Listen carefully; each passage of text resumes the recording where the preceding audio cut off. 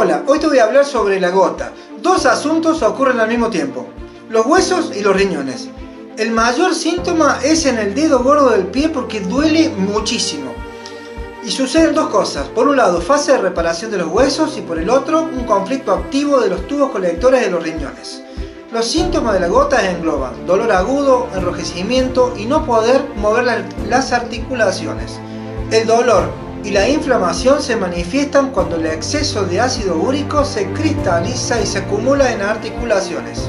Y la lectura más importante en la biodescodificación sería, en el riñón, mucho gasto de dinero o el dinero se termina rápido, deseo inconsciente en retener líquidos, por eso aparecen también edemas en las piernas. Está también involucrado los huesos, problemas familiares, impacto emocional de tal magnitud que se lastimaron los huesos.